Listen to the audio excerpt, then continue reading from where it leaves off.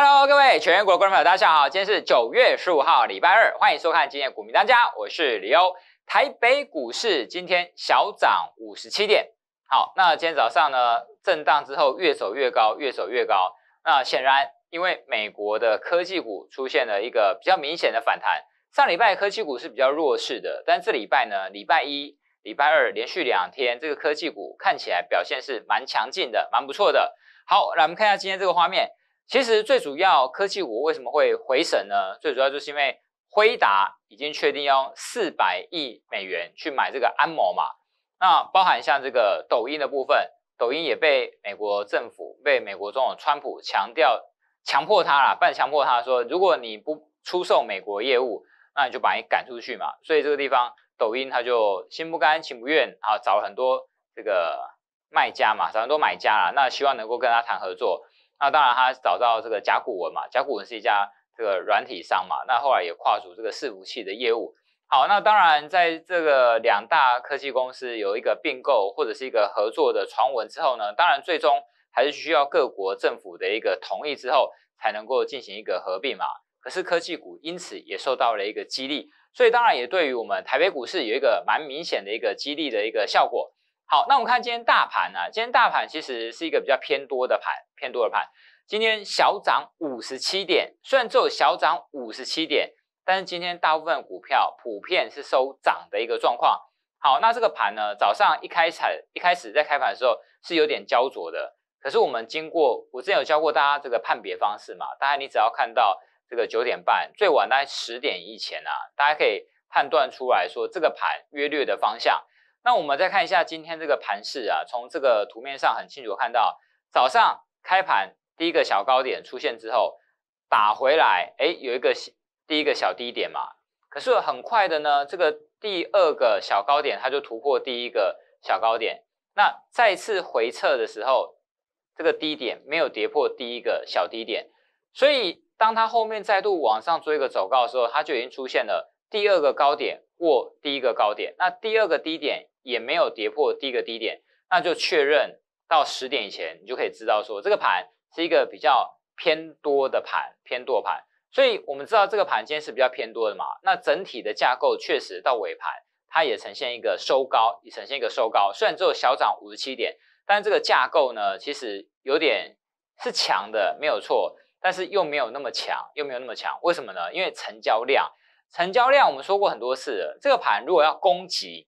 一定要超过多少？一千，超过这个两千亿以上啊，两千两百亿以上会比较明显攻击。可是我们看到这个盘多少？今天才成交一千八百五十七亿，量其实又缩了。涨的时候量缩，代表什么意思？代表追价力道不足啊，投资人没有信心，投资人会害怕，会恐慌。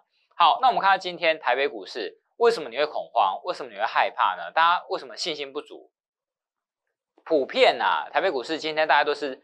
在涨一趴到跌一趴之间啊，因为涨一趴的有多少？四百八十八家嘛，平盘有两百二十七家，零到平盘到跌一趴的有四百零五家，这个合起来，台北股市一千七百档股票，大概就一千档左右是在这个正负一的这个范围之内嘛。好，所以整体看起来盘涨比较多，因为八百六十二是涨嘛，跌是六百二十五，可是中位数大概落在涨跌大概一趴的范围里面。那今天上柜很明显也比较强，上柜是涨零点五四 percent，上市涨零点四五啊。那上柜中小型的又开始慢慢的活起来。可是我们看到今天类股部分啊，生技股是比较强劲的，那有一些钱又跑到生技族群里面去了。好，那整体看起来这个 K 线图的部分很清楚了。你看下面成交量是不是每天都呈现量缩？大家越来越没有信心。可是其实盘是强的哦。全指股是在往上走的哦，就像我们昨天跟大家报告的，这个盘强在哪里？强在高价股，强在这个华为的禁令不是今天生效吗？但是华为禁令今天生效，可是我们看到很多相关的华为概念个股，其实它是走高的哦，像红杰克今天也算是强劲的哦。那这个地方，这个红杰克往上走高，就有点那种利空出尽的味道嘛。那当然我们看到。这个大盘的 K 线图连续两天，它是突破五日、十日、二十日均线嘛？现在缺点就在于什么？到底能不能突破一三零三一这个高点？重点就是你要看下面成交量能不能突破两千亿以上，而不是越来越小，越来越小，来到一千八、一千九，甚至于一千七，这个就太小了。这样子盘一盘之后，就算突然往上做一个攻高，它也会打下来。所以成交量绝对是关键。那投资人没信心，投资人没信心，到现在就是没信心，所以量一直缩嘛，一直缩。可是我要给大家信心啊！为什么我们敢给大家信心呢？在九月份的下半月、上半月，我们已经跟大家报告过嘛，说这个盘就是一个震荡盘，是一个震荡盘。信心来自于哪里？三大原因啊！你看一下今天台北股市午盘哦，升值升到多少？大升二点五六角，大升二点五六角。中午收盘暂收二九点二三。那这个是每天呢，几乎都有看到这个二字头，二九点二多，二九点三多嘛。那为什么会这么强劲？因为国际热钱不断的涌到台北股市来嘛，涌到这个台湾来嘛。那我们知道，其实全世界目前各国的这个刺激方案、振兴方案非常非常多。可是你觉得这个振兴方案、刺激方案，它有流到这个实体经济里面吗？也就是我们日常食衣住行娱乐里面吗？其实。这个不能说没有，是有的，但是相对有限，相对有限。一般的老百姓没有做投资理财的人，他没有感觉，他没有感觉。可是呢，有在操作股票、有在投资的人，他就会很有感觉。因为其实整个从八千五百点以来到九千五，到一万、一万一、一万二、一万三，其实很多股票它已经涨了一倍、涨两倍，甚至于有人涨三倍以上的。假设买到这个什么？疯狂乱飙的，假如像美德一啦，什么各种的低压股票啊，哇，它涨了涨翻天嘛。那一般的股票至少又涨个两倍以上，所以就会非常有感。那因为热钱都涌到这个股市里面来了，好，那所以这个国际热钱不断涌入情况之下，台币当然就走升嘛。再来是这个出口商抛汇，出口商他出口赚什么？赚美金嘛，他必须要把美金卖掉。他看到美金是在走弱的，美元指数是在走软的。所以他急着把美金卖掉去买台币嘛，那买台币，台币就更往上做一个升值嘛。在台商不断的，因为美中贸易大战嘛，那当然这个在中国投资的台商陆陆续续有一部分他可能转往东南亚国家，有一部分就回到台湾来做投资，所以归于返乡，国际热钱涌入，出口商抛汇，就是卖美元买台币，当然再再的进一步推升这个台币是往上追又走高。所以，即使啊，今年台北股市外资它是卖超的，台北股市今年是外资是卖超的哦。那谁买？谁买？这个是政府八大关股行库，再来呢，散户散户融资也买五百多亿嘛。那再来呢，投信。所以外资今年三月份到现在为止，其实外资在卖一千九百亿。可是我们看到关股、看到投信、看到融资，大家就买了一千七百亿嘛。在这种情况。这个内资成为安定的力量，成为安定的力量。那热钱不断涌入的情况之下，对于国际股市，对于这个台北股市新兴市场啊，会有一定的支撑力道。而这一笔钱呢，哇，这个是挡都挡不住啊！你看这个，哦，我们的这个央行总裁啊，这个杨总裁，你看啊，他说游资啊多到爆表，多到爆表。预估这个礼拜在美国这个联准会开会结束后隔一天嘛，礼拜四我们要召开这个央行理监事会议啊。利率还是维持，就是继续不变嘛，持续冻结住。为什么呢？钱太多了啦，所以你看到很多金融机构、很多寿险资金，他要买安全的、买稳的嘛，他去买这个政府公债，借钱给国家，买国库券，这个相对安全的，可是没什么利息。好，他就是要赚这个安稳的利差嘛。那甚至有银行，像这个央行，就是我们一般的民营银行啊，或者说政府的这个银行都可以。那它像中央银行，就是银行中的银行。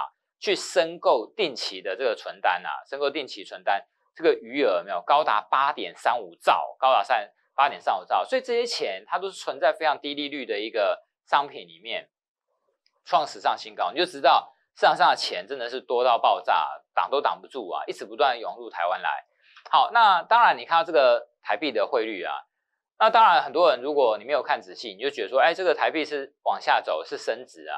那你顶多看出来说，每天就是央行这个最后一盘都有主升嘛，盘中出现升值，来到二九点三啊，甚至说接近升到升破二九点三到二九点二多嘛，但是尾盘都把它打到二九点五，二九点五附近，那打到二九点五以上。可是昨天哦，昨天收盘，你仔细看中间画那条线，昨天收盘的位置，收盘的位置，它是收在二九点五以下哦，代表什么意思？代表它失守了它之前从七月、八月、九月到现在九月中，一直不断的要挡住的二九点五这个关键价位。那这关键价位失守之后呢，会不会慢慢的往二九靠近？有可能嘛？因为它挡不住了嘛。否则它之前在七月份、八月份已经挡了两个多月了，已经挡了两个半月了。为什么在昨天它会失守？它会失守，等于说会进来的力道、热钱进来的这个数量真的太多，它没有办法挡住了嘛。好，所以再回到我要跟大家表达的一个重点啊，股票市场里面啊，观念很重要。其实这个是德国股神叫科斯托兰尼啊，科斯托兰尼他讲过一句的经典名言，他写一本书叫做《投机者的告白》，一个投机者的告白，他面写一个一个呃一句经典名言，就是说行情等于资金加心理。之前我们跟大家分享过很多次嘛，其实股票会不会涨，除了公司的基本面以外啊，他认为啊他的观念啊，当然我们会知道有些股票，比如它没什么基本面，它也是喷翻的，它也是乱涨一通，为什么它乱涨？就是资金嘛，钱很多嘛，有钱进去买嘛，还要炒作嘛，就喷啊。当然，我们是在研究公司，我们当然在研究这个股票。我们原则上，我们会希望买到买的公司，不是纯粹靠筹码，不是纯粹靠这个资金进场硬拉的。我们希望买到的是一家好公司，产业前景好，有未来展望的这家好公司。那。这个资金进来之后呢，它才会走一个大行情、大波段。那台北股市现在有没有资金？有啊，热钱不断涌入嘛。我刚刚给大家看了嘛，台币已经升破这个重要的防线二九点五嘛，而且央行挡都挡不住嘛。好，那这个地方钱有了，再就心理啦。什么叫心理呢？就投资人的心理啊。你自己的，你对一家公司，你看的如果是这个股价，但股价每天会变动啊。可是公司的营运会每天出现剧烈的变化吗？不会吧。如果你有开过公司，你如果是中小企业企业主，或是你是这个医生，你开这个诊所，你会你的这个每天的这个营业状况会差距很大吗？当然，从年度来看，可能会有大月小月啊，可能会有旺季淡季。可是公司的营运长期来看呢，原则上这个波动是不会太大的，除非有一些特殊的行业啊，所以。股票我们看的是公司的价值，所以行情这股票未来的一个趋势啊，是资金加心理，所以要有钱嘛，要有这个投资者，你的这个心理素质也要够强嘛。那你买这个股票之后，你知道公司的价值，你就不会轻易的被这个股价变动所影响。好，那心里面呢，我们再从心里面来探讨，VIX 往下降了，当然我们在八月十一号。十二号、十三号到这个八月底，我们跟大家报告说，这个地方 VIX 慢慢往上走高。当美国股市在创新高的时候，创历史高的时候，VIX 也在往上走高，它暗示着会有波动，波动会变大，有人在恐慌，有人在避险。结果我们看到上礼拜科技股是很明显的往下跌。可是刚刚科技股往下跌的时候，你有没有注意到一件事情？当科技股往下跌的时候，恐慌指数也往下跌，它 VIX 也往下走跌。它所代表的意思就是心里面。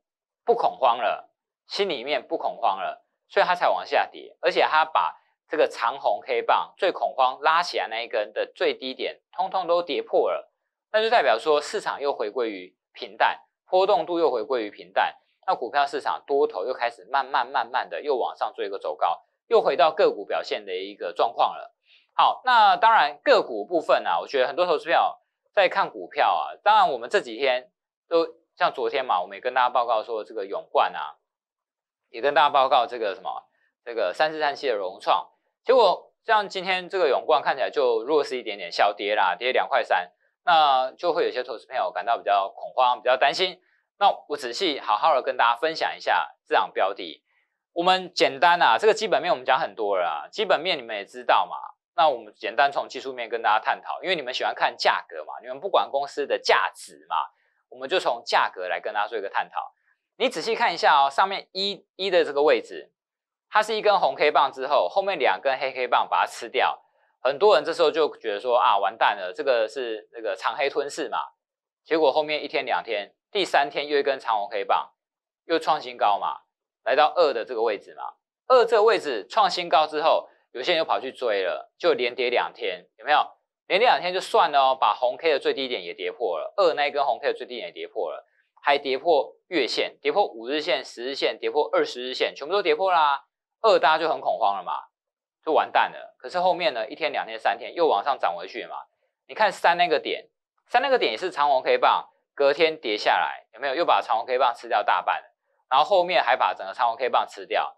四那个点更恐慌了，四那个点一出现之后破线。又又一次了，二那个地方五日、十日、二十日全部跌破，四那个地方也是五日、十日、二十日全部跌破，结果隔一天哦，才隔一天哦，全部收起来，它又站回去五日、十日、二十日，当然后面啊，慢慢的、慢慢又往下滑。从现形来看，你确实会觉得哦，这个好弱，哦，今天又跌破这个往下走低嘛，又把这个前面的这个红黑棒又吃掉了，大家又恐慌啦。那是因为你看的是价格，你看的是现形，可是。我是不是跟大家报告？我说你从周线的角度来看，请问它是在高档还是低档？没错嘛。而且你仔细看下面，我画一二三，它的底部二的低点是比一的低点来的高，三的低点又比二的低点来的高。而且它是不是底部爆大量？是一根量吗？不是嘛？是我们一直不断跟大家报告的草丛量嘛？草丛量嘛？那而且很明显的突破向趋势线嘛？那再来呢？融创，我用融创当例子，大家都更清楚了。融创，你看一那个地方，它是跌破月线，而且把前面的这个多方缺口全部都补掉。结果一跌破月线之后，隔一天、两天、三天有没有连续拉了三四天，又拉起来。就第二次呢，它又第二那个点又跌破五日、十日、二十日嘛，又往下杀，大家又很很恐慌、很害怕，有没有？到第三那个点，大家觉得完蛋了，又跌破第一的那个低点嘛，第一的圈起来那个地方的低点。结果就算你砍掉之后，后面连拉一根、两根、三根，又站回所有均线，有没有？站上去之后，它又拉回来，就在第四那个地方，它又跌破五日、十日、二十日。上礼拜五嘛，就礼拜一拉起来，今天创这个又把前面这个这个黑 K 完全吃吃掉了嘛，等于说又回复了，把上礼拜礼拜三啊，上礼拜礼拜五啊，礼拜四、礼拜三、礼拜二全部都吃掉，全部都吃掉。那今天是不是又很接近波段高点？如果这时候突然拉一根长红 K 棒，假设它过二六点三啊，是不是很多人就觉得说，哇，这股票不得了了？所以现在这个永冠的情况，是不是跟这个融创有点像？不止日线长得像啊，你从周线架构来看也是非常非常像的啊。你看这周线架构有没有？周线是打底部打好之后，然后突破颈线位置，再压回来颈线，再往上走高。你们不喜欢听基本面嘛？融创，我们也跟大家讲很多次啊，就是它的这个第一季、第二季小赔嘛，而且赔钱，第二季赔的变少。那你会说啊，公司赔钱有什么好讲的？其实这个就涉及到你对产业的研究啊。公司赔钱它有原因嘛？我们看的是未来，那为什么它会赔钱？过去为什么赔钱？因为它打消它的公司的折旧费用嘛。那再来是把转投资全部都打掉嘛，所以会有产生小损失。可是你会发现损失是变小的哦。而且它的营收年增率就是跟去年同期相比，从今年的一二三四五六七八九，每一个月都快速的大幅度的成长。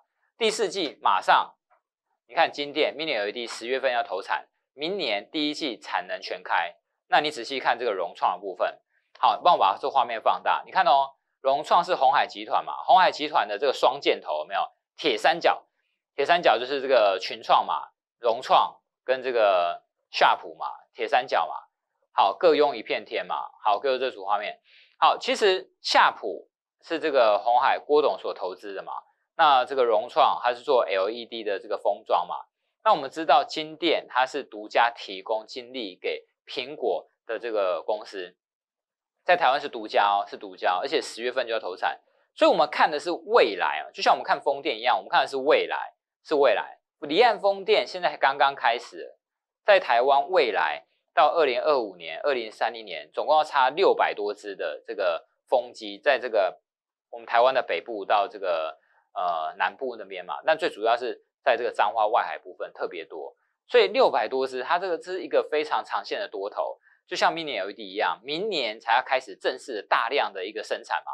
所以，想投资朋友有时候在做股票啊，你要看的是公司未来的价值，价值。而不是公司现在的股价，当然股价会波动啊，那当然心情也会波动。不过我想投资朋友你就做好准备啦，你仔细最近啊，不管你是有没有参加我们群组的，有没有参加我们会员的，你一定都要锁定我们股民当家的赖群主。没有参加会员的，你一定要锁定赖群主或 Telegram，因为因为好久成瓮底啊，好久成瓮底，很快的，大家开始在倒数计时了。我们准备好要奋力一击了，即将我们要推出复制八一五五博士跟六四四一广定的这个大波段操作的这个第四季精选的好股票啊，即将要出现。那这张股票呢，我们是对它寄予厚望啊。那我想投资朋友，这个照我们说的做啊，就是把这个手上的现金准备好啊，时间到了，我们就带领加入成员这个手握银弹嘛，等待这个最好的买点一出现。我们就进场，全力做一个买进。好的，以上就提供给各位投资朋友做一个参考，也祝福各位投资朋友我们当家，幸福理财。我们明天见喽，拜拜。